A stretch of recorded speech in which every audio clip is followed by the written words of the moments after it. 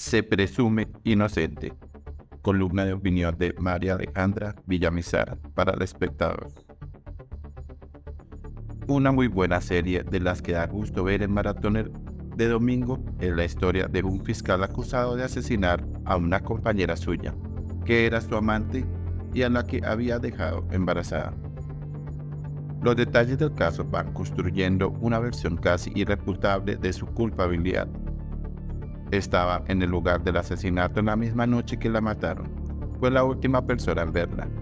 Hay rastros de sus huellas por toda la casa y hasta muestras de su piel en las uñas de la víctima. La serie transcurre en el juicio donde el acusado, como abogado, asume su propia defensa y, palabras más, palabras menos, dice en el cierre de los alegatos. Yo sí era su amante, sí estuve ahí, sí esperaba un hijo mío, sí la amaba, Sí, discutimos esa noche, pero yo no la maté. ¿Se le cree o no? ¿Qué determina el jurado? Así estamos con el cuento de la reelección de Gustavo Petro, como ese jurado de ciudadanos determinando si el presidente es culpable o inocente. ¿Se va a quedar o se va a ir? ¿Entregará el poder o se aferrará ilegalmente a él? El hilo que teje la historia se registra diario. Una senadora de su partido radica un proyecto de ley que responde en entrevistas que, si fuera candidato, se reelegiría.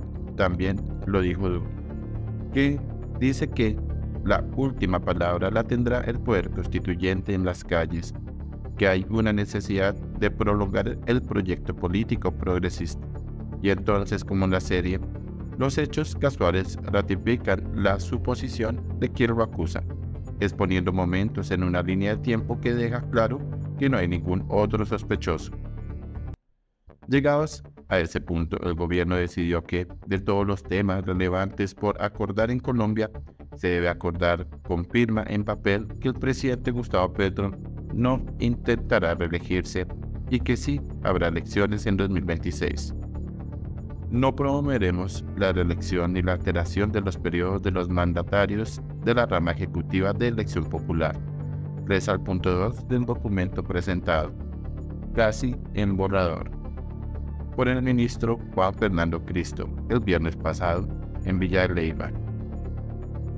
Que la afirmación tenga que ser explícitamente incluida en el temario de esa propuesta de buscar consensos pone de presente que va ganando la tesis del acusador.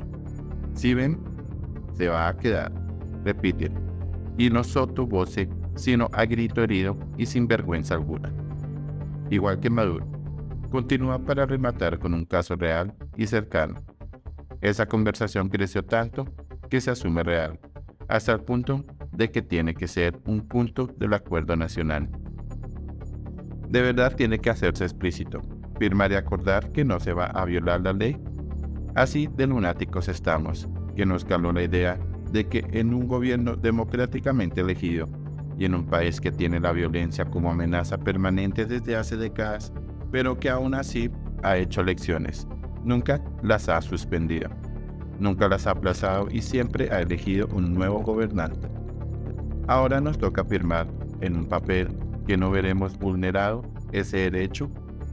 Y todo esto porque Petro es de izquierda. Claro, eso es lo que hace la izquierda. Era el amante y estuvo con ella la noche del asesinato.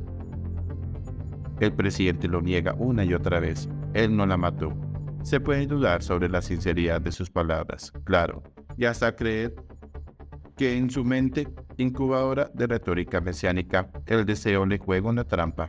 Pero en este juicio de la rumorología nacional, Petro se presume inocente porque no hay evidencia de que su mandato no terminará el 7 de agosto de 2026.